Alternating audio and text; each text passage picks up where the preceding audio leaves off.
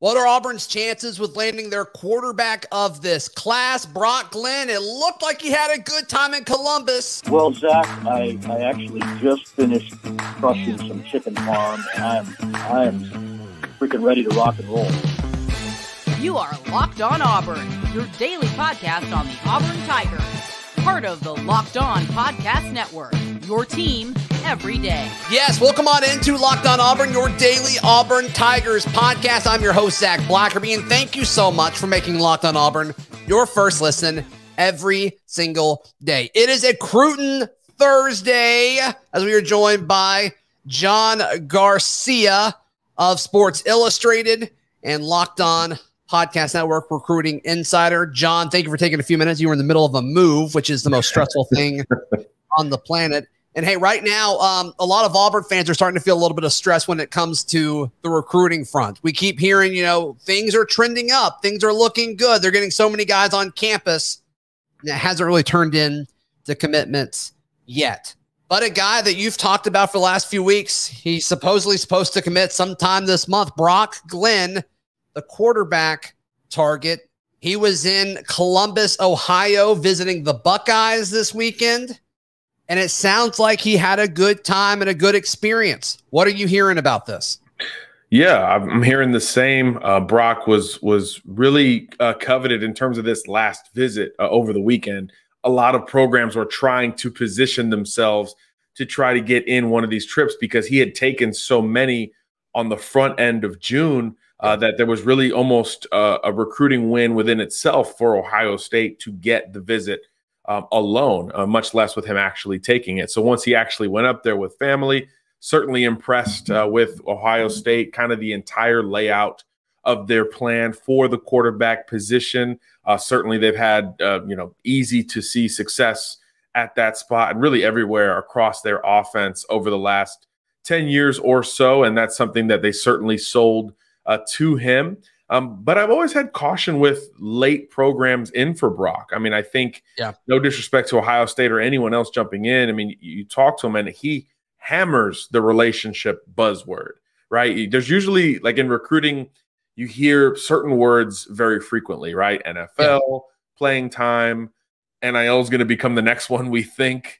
Um, but relationships are one of them. And, I think the long standing relationship with some of these other programs, Auburn certainly uh, even TCU, Virginia, Mississippi State, those programs uh, have such an advantage over Ohio State, which is not something we say very often because of the time that they have already invested into Brock Glenn and his family. So Ohio State knows it's playing catch up uh, in this race. Uh, it's it's kind of reshifted its entire quarterback focus to Brock Glenn and Austin Novosad, the Baylor quarterback commitment, who's also headed to the Elite Eleven finals neither feels like it's a, a, home run for Ohio State at this point. So I do think that there's still a lot of optimism from the Auburn perspective with Brock Glenn in particular, who again this week confirmed he would like to go to the Elite 11, which starts next Tuesday. Yeah. He'd like to go there as a verbally committed prospect. Now, certainly if he if he pauses, it's understandable. It's Ohio State. We get it. But if he doesn't and he follows through in the next few days, you got to feel good about Auburn's chances. Yeah, I mean that's that's not long at all when, when you look at kind of this deadline that he's put himself on. Florida State, he was there the week before. You hardly ever mention them. Are, they a factor here at all? I think some. You know, he had a relationship with uh, some previous assistants at FSU that are no longer there, particularly offensive coordinator Kenny Dillingham, who's now up at Oregon uh, yeah. obviously former Auburn uh, assistant as well. Um, so I think that was was that combination would have been a true threat in my mind uh, to Auburn uh, from the Florida State perspective, but they've had a lot of fluctuation with their own recruiting plan. You know, Ohio State has projected like a total reset. FSU seems like it's got its head on a swivel. They had one quarterback committed for a long time who, who's a friend of Brock's, another Tennessean um, in Chris Parson. Um, and all of a sudden, they offered Brock Glenn, they offered Ricky Collins, the, the Purdue verbal commitment, and and they had this kind of aggressive plan to take a second quarterback. And now it looks like the first quarterback, Chris Parsons, not going to end up at Florida State. So there's a little bit of, I guess, weird vibes right now with Florida State quarterback recruiting. Um, and again, those relationships are much newer for Brock uh, with Mike Norvell and, and, company. Not sure Norvell was was high on Glenn as a you know an eighth grader when yeah. he was the head coach at Memphis. You know, some those connections and that familiarity certainly was intriguing enough to FSU to get him down on the visit, but I don't think it was enough to overcome Auburn. Uh, and again, I think Mississippi State's still in this race a little bit as well, although they've casted a little bit of a wider net, including hosting Chris Parson, who, who is that FSU commitment for a visit lately. There's a lot of quarterback shuffling going on, is what I'm trying to say. And yeah. a lot of that is because of, of the relationships and the fluctuating nature uh, of college football in the last 12 months. So I think Bryan Harsin and company, that kind of continuity uh, as of this, you know, this winter uh, time, uh, and him obviously so familiar with campus beyond the X's and O's and football itself, I do think that creates such an advantage for the Tigers. So yeah, I, would be surprised if he ended up at FSU at this point. What does Brock Glenn mean for Auburn? I mean, obviously, and you and I have talked about this before, the importance, the importance of having a quarterback in every class, right? And, and I think that speaks for itself. Get talented passers on campus let the chips fall where they fall. If guys leave, they leave, but you want as many options as possible when it comes to talented quarterbacks. So obviously, it, it appears that Brock Glenn is Auburn's choice, but what does it mean if they get him? I mean, Holden Geriner appears to be the guy that's going to be after the guy whoever wins the starting job right. here, and he, he's going to be at Auburn for a long time, presumably. Um, I I think Geriner has more upside than Glenn does. You may you may think differently. I, I, don't know, but his path to playing time isn't clear. It's not obvious. Now, obviously, he could come in and win the job, and, and that would be great for Glenn. It'd be great for Harsin. It'd be great for the Auburn fan base. Whatever. Is it more than that? Is it more like can they get some momentum on the recruiting front, or is this strictly a hey, this could potentially be Auburn's quarterback, and it stops there?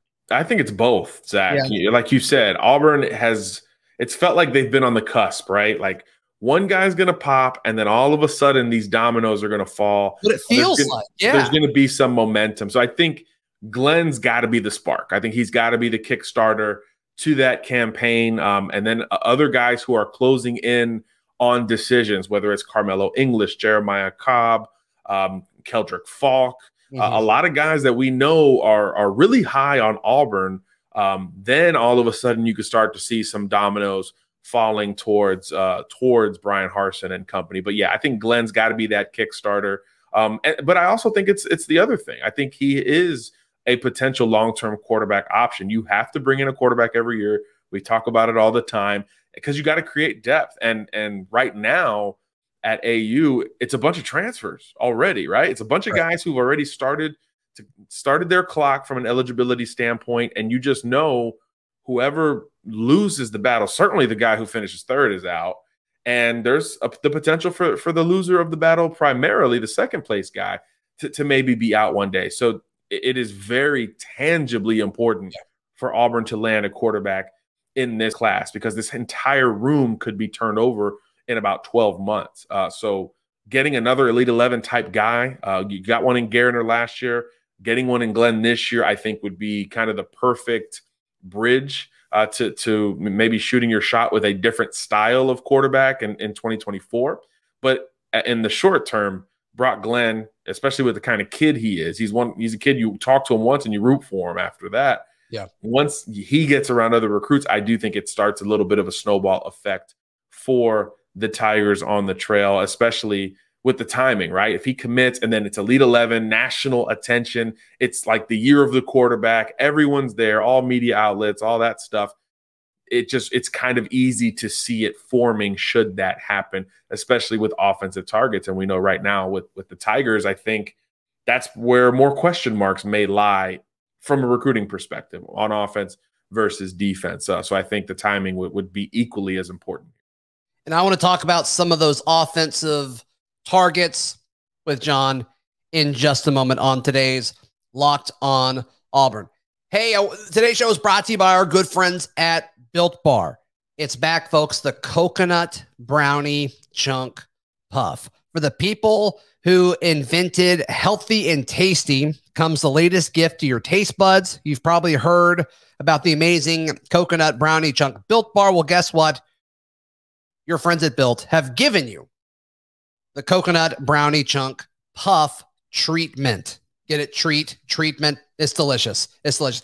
Uh, well, people like it. I'm not a huge coconut fan. I'm going to be honest with you, but everything Built does is great. You've heard me talk and rave about how good the puffs are. You guys got to check this out. And hey, if coconut's not your thing, which I think it is for a lot of folks, I think a lot of people are pro coconut. I'm just not. I don't go nuts for coconut. But if you do, head over to built.com, use promo code LOCK15 to get 15% off your order. That is promo code LOCKed15 for 15% off. That is at built.com. John Garcia, our guest today. The next guy I want to talk to you about, and this is a guy I really don't know a whole lot about, and I look forward to you uh, telling me about him. Daquayvious Sorey, the 6'2", 185 pound wide receiver. He's a four star from Chipley, Florida. Is that close to you? Is that close to your neck of the woods, Chipley, Florida? I've never heard of it's, Chip. It's not close to anyone. It's it's in the Panhandle, sort of buried, um, close to you know Graceland, if you know where that is. It it's the Panhandle. It's where Florida it. meets Alabama, uh, and there's just a lot of space. Uh, let's let's call it in between, you know, metro areas. So yeah, a country boy, hundred uh, percent of the time. Younger brother of Xavian Sorey, who signed with Georgia uh, two cycles ago. A guy that Auburn was was high on and in that race, I believe, for quite some time. Daquayvious, little brother, different position. He's a receiver, like you said. 6'2, 180 or so, but just like Big Bro, kind of a jack of all trades. You know, he's he's the guy in that small town. Uh, so he does a little bit of everything. And I think he's more of a like a five tool type wide receiver, even though he's raw and needs some polish, you know, between now and, and hitting the the SEC or, or I guess the ACC based on his top eight. And he needs some polish, but the physical foundation is is certainly there. Um, and if you need a physical line, uh, physical receiver who's ready to block, the younger brother of an SEC linebacker. I mean, that's that's kind of an easy easy sure. sell on that front. Uh, Sorey was, of course, committed to Georgia for quite some time, and since he's backed off, his recruitment has slowed down in terms of the action. Not a lot of visits. Um, there are a lot of schools interested. Certainly, uh, uh Florida, obviously Auburn, uh, Miami's involved to a degree. Florida State's trying to get involved. There, there is a regional battle brewing but not a lot of tangible action on on his end. So I do think that probably says he's going to take his time uh, in making this second and and perhaps final decision uh, throughout the recruiting process. Uh, well, we know Auburn needs wide receivers. We know uh, physically, again, his profile matches some of what you want in the boundary on the planes uh, going forward. so I do think he's one to keep an eye on, especially as some of these other wide receivers start to come off the board. It seems like Ohio State's gotten all of them this week, uh, yeah. but others will come off the board relatively soon, um, including Carmelo English from Central Phoenix City. Uh, so if you start, you know, missing on some of those guys, Sorey becomes a, a, a higher priority almost by default. Uh, but again, you link him up with a Brock Glenn, should he be committed, stuff like that. Visits materialize, and all of a sudden you could see some momentum from from the Tiger angle, especially you know, given Ike Hilliard, given just kind of the um, kind of the relationship that that could brew, given his ties to the state of Florida and obviously the experience there at the position. Um, but, but we do think this thing rolls on a little bit further. And, and look, being a panhandle guy, you're not that far from Auburn. You know, it's kind of it's one of those areas where people assume, okay, these kids are probably going to Florida State or maybe they're going to LSU because of that I-10 corridor. But if you go a little bit north, uh, you can you can get into Montgomery, get into Auburn relatively quickly. So um, it, it's an under recruited area, but there is some some pull geographically for the Tigers. Bo Tiger Four in uh, in my Discord, John said regarding Sorey. I'm more or less curious to hear John's thoughts on if we have a chance at all. I know he puts us in his top four, but I feel like we haven't heard much chatter about him. So, I mean, the top four Auburn's in there. You think the Tigers have a shot here? Yeah, absolutely. Especially if he is on that extended timeline. I think for a lot of these recruits, you're like sooner the better for Auburn, right? Especially the in-staters or Brock Glenn. You're like, hey, come off the board yep. ASAP and, and you feel better about your chances. I think with Sorey, it's probably the opposite. The longer the game goes on, especially if it goes into the season and there's a clear need for Auburn at that position, those are things that become a little bit easier to sell if and when he does uh, get back up to campus uh, in the fall. So I'm not sure of his visit plans. I know he was at Florida recently. Not sure beyond that. Okay. Um, so I do think that's that's another reason why we don't expect something here soon uh, from Sorey because he just hasn't hit he hasn't been hitting the visits like most of these kids have in terms of official visits basically every weekend. Right, right. All right. There's two guys in the trenches that I want to get John's thoughts on. Auburn needs both sides of the ball when it comes to guys that'll be on the line of scrimmage. All right, here on Locked On Auburn. Mentioned the Locked On Auburn Discord just a moment ago. Highly encourage you folks to check that out if you want information on the show like Bow Tiger 4 did. Check it out. Locked On Auburn Discord is available in the episode description down below. John, let's talk. Let's stay on offense here. Connor Lew, the interior offensive lineman, 6'3, 280, Georgia guy, um, took an official visit to Auburn this past weekend. What do we know about Connor Lew and where the Auburn Tigers stand with him? Yeah, Auburn is probably an ascending option for him. You know, I think uh, Georgia just brought in an interior prospect. It looks like they're trending for a couple of others. So you certainly start the conversation there. Other regional schools, Miami, are trying to get involved uh, with Connor as well. Uh, but it looks like he's starting to narrow this thing down. Again, the opposite of what we said about Sorey. Looks like he wants to try to come off the board here relatively soon. And uh, 24 7 spoke to him and said he you know he's an aviation guy. And i think that's something that it's huge. him him being a center guard type and knowing that a guy named nick brahms who like i associate with uh, auburn's aviation program because yeah. he's been there for 25 years amen you know, to that right. obviously you get time with him and all of a sudden you know it's it's a much easier sell academically. I mean if, if you want to fly for a living you, you you might just happen to be good at football and a big SEC type offensive lineman, but you know you're a different person. You're just you're on a different path, and you know we we talk we hear kids talking about academics and programs being important, but when it's something so specific like that, it just right. raises up multiple notches when you find a school that matches, and and obviously Auburn excels in that arena. So I think just from that, you start to feel better from the Auburn perspective. And then you pair it with, okay, Georgia's probably recruiting a bit above him at the moment, and he wants to make a decision soon. And then your confidence should increase just a little bit from that, that AU perspective. So the sooner the better in this case, the opposite of what we said with Sorey. Uh, yeah. Uh, if, if, he commits, uh, I, I think if he commits soon, I should say, I think you got to feel good about Auburn's chances. I don't know if it's a clear cut leader uh, but mm-hmm. certainly there are some unique opportunities that the Tigers can offer at a major position of need, by the way, yeah. uh, that others cannot. Yeah, Connor Lew, Connor flew. I, I feel like there's something there. I, I was waiting for you there. Yeah, it, there's something there. There's something there, John. All right. Um, last guy I want to pick your brain about today. Anthony James, a defensive lineman from Wylie, Texas, previously committed to Texas A&M. Last we spoke was when Auburn offered him, and then two days later he decommitted from the Aggies. Then you mentioned there were other things kind of going on as well. Other um, other folks have committed and signed and all that stuff with the Aggies. But um, he took a, a, recent official to to Auburn as well. Where do the Tigers stand with Anthony James, the defensive lineman? Uh, they stand in a great position. You know, I yeah. think coming off the visit, he was certainly surprised.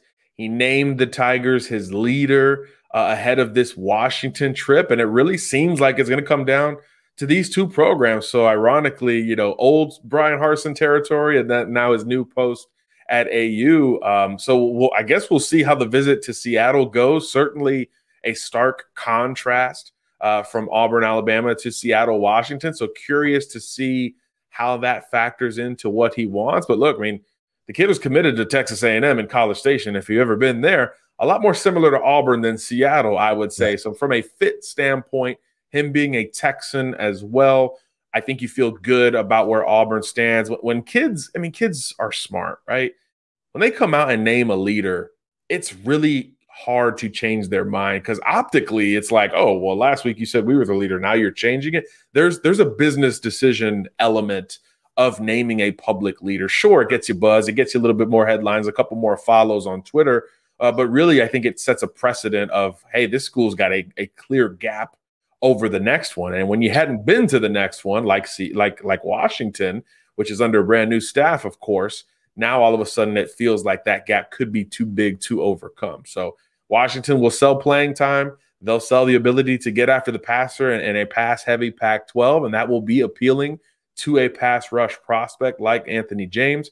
Uh, but I do think that Auburn's lead seems to have, have been a considerable one to come out and say that from a public perspective. And he also looks like he wants to wrap up the process sooner rather than later. Again, like you said, that decommitment wasn't something that that he woke up one day and said, "Hey, I'm just going to decommit." There was a lot of right. you know overtime factors, if you will, going into that.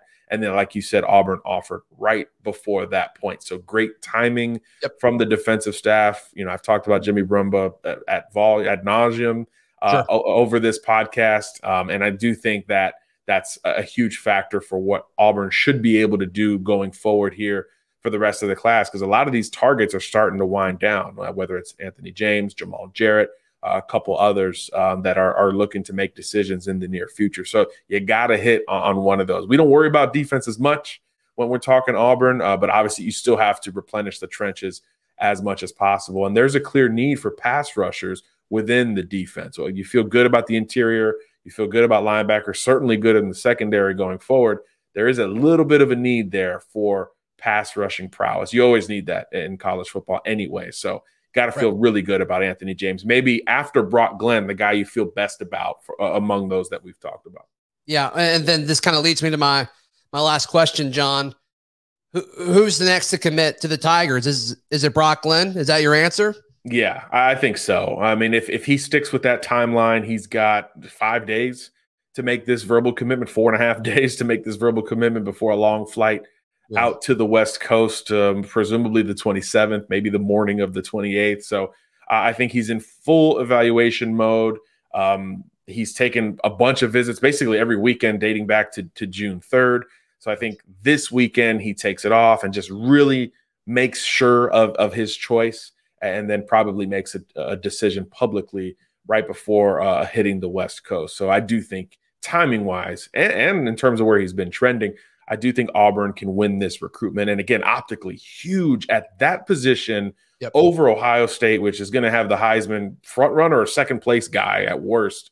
Right. Uh, with CJ Stroud, I mean, that is a strong optical win for the Tigers and a needed one to get this ball rolling and, and get some volume on that commitment. John Garcia, how can folks check out everything you have going on? Well, I'm talking a lot about quarterbacks at SI.com. We wrote about some flip candidates today. Uh, so Ohio State's looking at some other guys. Keep an eye on that if you're a Tigers fan. And of course, we're going to do like Brock Glenn, and we're going to head west uh, to California for the Elite 11. So a ton of coverage planned uh, from SI, Fan Nation, the whole crew that will be uh, boots on the ground, including yours truly. John Garcia, the GOAT, hanging out with us for a few minutes on this Cruton Thursday. We'll be back tomorrow to recap Auburn's activity in the NBA draft. Jabari Smith, Walker Kessler. What teams will they be on this time tomorrow? We'll talk then right here on Locked On Auburn.